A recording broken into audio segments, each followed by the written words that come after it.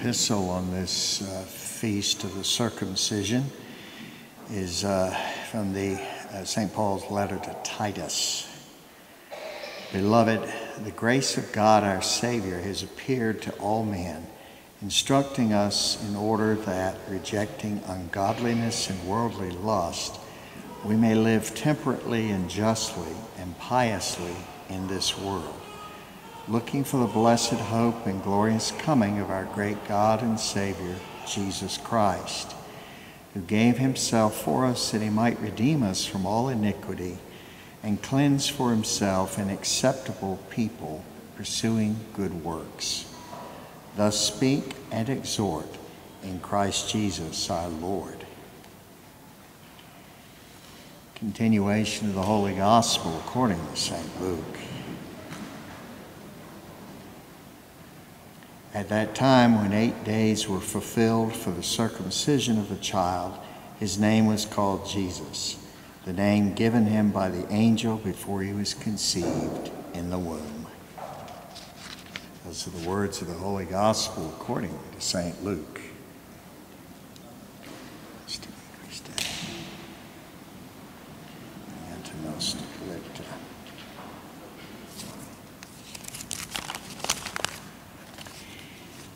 The Father, and of the Son, and of the Holy Spirit. Amen. My brothers and sisters, the, this Mass is offered for the repose of the soul of Gwendolyn Brunson. This octave day of Christmas, or uh, feast of the purification, or excuse me, the circumcision, you notice the readings are rather short. And uh, when I was a young Methodist growing up, they would have us in our uh, Methodist Youth Fellowship. We'd start the meeting with somebody would recite a little Bible verse. And everybody always picked the shortest one in the entire scriptures Jesus wept. And uh, this is not a whole lot. If I'd known about this one, I might have I might have phoned that in to show off a little bit. Okay, down to business. Circumcision not the greatest fun thing to talk about, but uh, it's uh, used pretty much universally in these days as for hygienic reasons. But circumcision probably was originally a ritual for the passage, uh, a rite of passage from adolescence into full membership in tribes or particular clans in the Middle East. And uh, the particular rite uh, was chosen because it's performed upon an area that is central to bringing forth, biologically speaking, new life. The importance of keeping, we see here the importance that was put on keeping the clan or tribe going. Uh, this was basically was a sign that the person had given their whole life and life-giving powers with it to uh, whatever God they were worshiping. The formation of Israel, it became exclusively a religious rite, symbolizing that one belonged to the covenant people that were descended from Abraham. St. Paul in Galatians makes the point basically that God made a covenant promise to Abraham because Abraham had proved his faith and his trust in God the only requirement God set out at that point for Abraham to fulfill on his side of the covenant was to, quote, walk before me and be perfect, unquote. That is, to approach every aspect of every day as a duty, privilege, and an opportunity to please God or to do His will. Later on, uh, God required this physical circumcision from Abraham and his descendants as a sign that they were, in fact, trying to live in that manner. They were trying to walk before God and be perfect.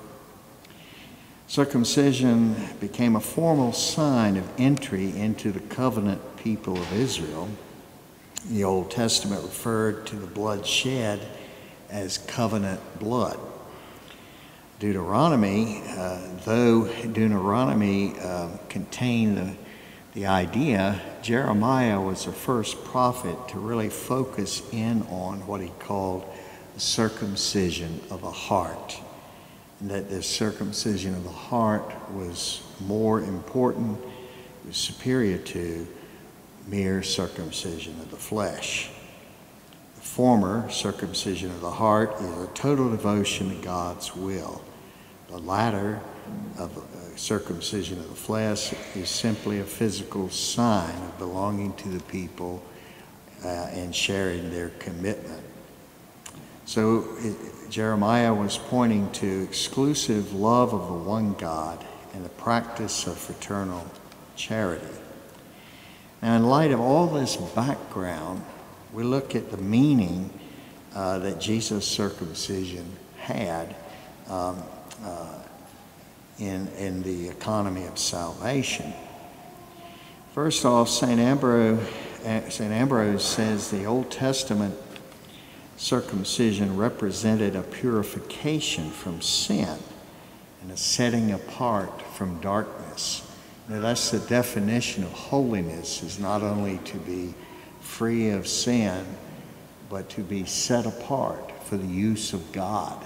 That's what holiness is about. And when we say God is holy, uh, we mean that about him, that he is so apart from us, not because he doesn't care, but he's just so far beyond us in the order of being. He is the source of being.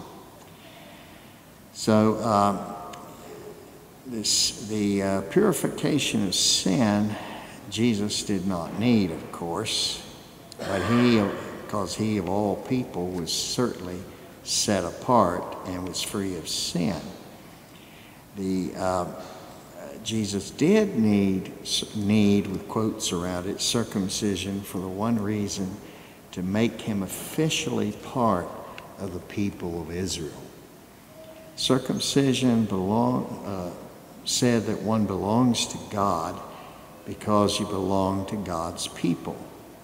Now, uh, nowadays, that the new covenant has superseded the old, baptism says that we belong to God because we belong to the body of Christ, His church. So we see here, and I don't want to, I'm tempted to digress for a length at length, but I won't. There's an importance here to belonging.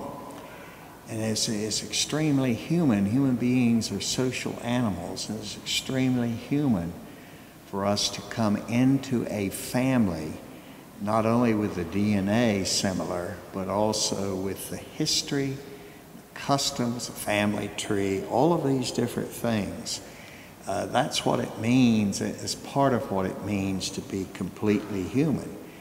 Jesus could have come to us, God's Son could have come to us as a kind of an abstract model of humanity with no connection, but it wouldn't be real because it's the, it's the human beings, uh, humankind who had this history, had this bloodline, had this, these customs and manners flesh and blood that offended God.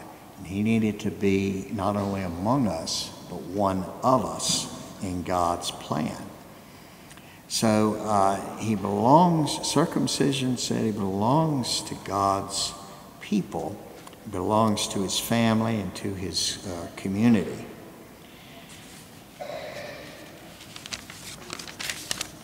Circumcision, thirdly, is the occasion was the occasion of the father's naming of the son and it's stated specifically uh, joseph named him jesus uh, because that's what the angel told him to name him and so in, do, in naming him joseph is claiming him uh, he makes him he makes jesus heir to the davidic title the, uh, the bloodline of david king david from way back of which both Joseph and Mary uh, were members. And it also, in this case, is a matter of assigning his mission. God has assigned his mission through this naming, which means Savior. Jesus means Savior or one who saves. And his mission is our salvation. So, uh, fourthly, It is the, uh, the circumcision of Jesus is the first shedding of his blood for our redemption. He's taken on our fallen humanity, though himself without sin. And that is itself an unthinkably great sacrifice. And to then shed blood is even more so. Father Gabriel says it sacrifice, reminds us that sacrifice is a sign of true love. Fifthly, Jesus' obedience to God's law as it was then in force uh, really begins at this point. His mission consists, we could say, of the Son of Man returning God's love perfectly and completely as enacted in his perfect and complete obedience, which neither love nor obedience have we returned, and certainly not perfectly. Father Gabriel uh, says that the, the church in its liturgy uh, has this story of the spilling of the first drops of Jesus' precious blood to consecrate the beginning of every new year as though to make each year a true year of the Lord. He says, Let us begin each year by, quote, circumcising our hearts, unquote, putting aside passions and vices and delusions, and to be purified by the precious blood of Christ and nourished by his grace so that he lives in us. The old man is to be replaced by the new. We should uh, especially at this time and with this reminder, we should look to the Lord to help us to put on the new man, which is Jesus Christ Himself. Finally, uh, Father Gabriel says the new year, which begins today, will acquire value only if lived in this light. Only by this daily circumcision of the heart will grace triumph in us. We have that guarantee at each and every Mass at which we assist. Our Lord is once again, uh, once again, He's not doing it again, but we, we recall and make present His spilling of His precious blood uh, on the cross, which consummated His sacrifice for us and uh, which gives us the grace by which we should be, especially in the new year, trying to live. May God bless you. In the Father, and of the Son, and of the Holy Spirit. Amen.